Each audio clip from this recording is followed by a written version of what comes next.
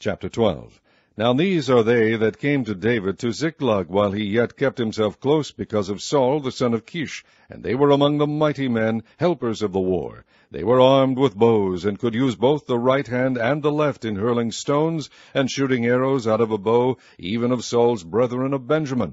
The chief was Ahiezer, then Joash, the sons of Shemaah, the Gibeonite, and Jeziel, and Pelet, the sons of Azmaveth, and Berachah, and Jehu the Antothite and Ismaiah the Gibeonite, a mighty man among the thirty, and over the thirty, and Jeremiah, and Jahaziel, and Johanan, and Josabad the Gederathite, Eluzai, and Jerimoth, and Bealiah, and Shemariah, and Shephatiah the Haruphite, Elkanah, and Jesiah, and Azareel, and Joezer, and Jashobeam the Korhites, and Joelah, and Zebadiah, the sons of Jeroham of Gedor.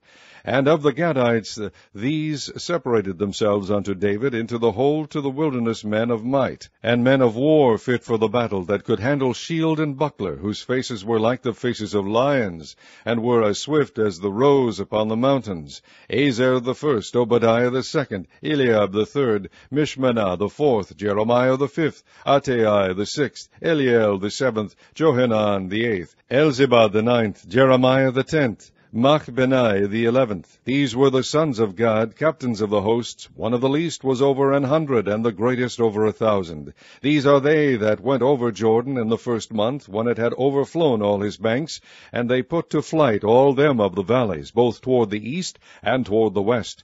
And there came of the children of Benjamin and Judah to the hold unto David. David went out to meet them, and answered and said unto them, If ye be come peaceably unto me to help me, mine heart shall be knit unto you.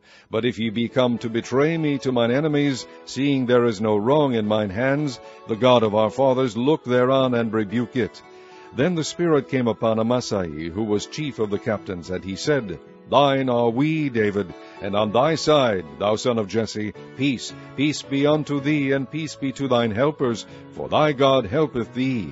Then David received them, and made them captains of the band. And there fell some of Manasseh to David when he came with the Philistines against Saul to battle. But they helped them not, for the lords of the Philistines upon advisement sent him away, saying, He will fall to his master Saul, to the jeopardy of our heads. As he went to Ziklag, there fell to him of Manasseh Adnah and Jozabad, and Jediael, and Michael, and Jozabad, and Elihu, and Zilthai, captains of the thousands that were of Manasseh. And they helped David against the band of the rovers, for they were all mighty men of valor, and were captains in the host. For at that time, day by day, there came to David to help him, until it was a great host, like the host of God.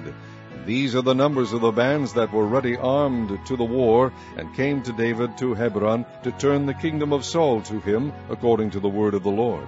The children of Judah that bare shield and spear were six thousand and eight hundred ready armed to the war. Of the children of Simeon, mighty men of valor for the war, seven thousand and one hundred. Of the children of Levi, four thousand and six hundred. And Jehoiada was the leader of the Aaronites, and with him were three thousand and seven hundred. And Zadok, a young man mighty of valor, and of his father's house twenty and two captains. And of the children of Benjamin, the kindred of Saul, three thousand. For hitherto the greatest part of them had kept the ward of the house of Saul. And of the children of Ephraim, twenty thousand and eight hundred mighty men of valor, famous throughout the house of their fathers and of the half tribe of Manasseh eighteen thousand, which were expressed by name, to come and make David king. And of the children of Issachar, which were men that had understanding of the times, to know what Israel ought to do, the heads of them were two hundred, and all their brethren were at their commandment. Of Zebulun, such as went forth to battle, expert in war, with all instruments of war, fifty thousand, which could keep rank.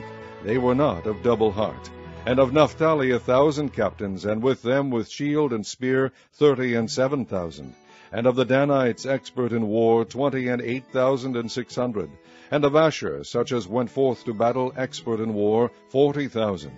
And on the other side of Jordan of the Reubenites and the Gadites, and of the half tribe of Manasseh, with all manner of instruments of war for the battle, an hundred and twenty thousand.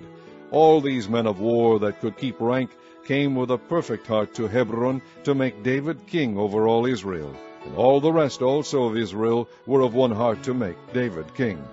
And there they were with David three days eating and drinking, for their brethren had prepared for them. Moreover, they that were nigh them, even unto Issachar and Zebulun and Naphtali, brought bread on asses, and on camels, and on mules, and on oxen, and meat, meal, cakes of figs, and bunches of raisins, and wine, and oil, and oxen, and sheep abundantly, for there was joy in Israel.